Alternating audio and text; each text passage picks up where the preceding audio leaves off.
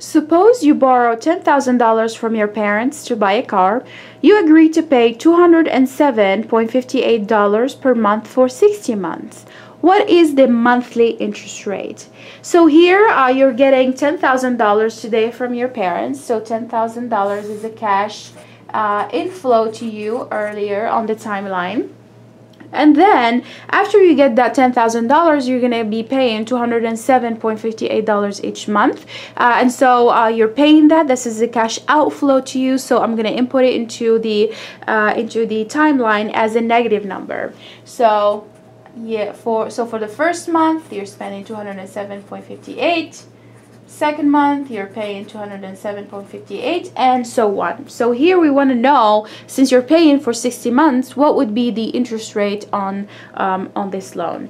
Uh, the $10,000 uh, happens earlier on the timeline as the cash uh, inflow to you so 10,000 will be your PV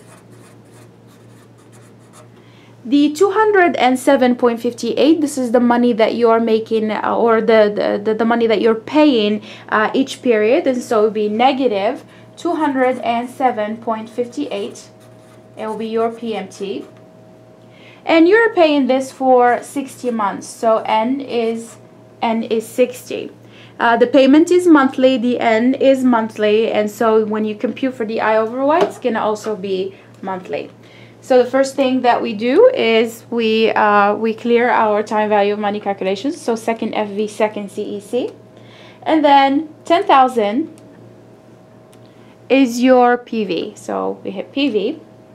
207.58 negative is your PMT. 60 is the N.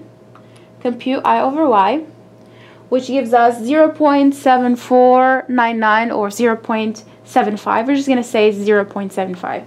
So this loan is basically the interest rate is 0.75% per month. So the monthly interest rate here is 0.75%.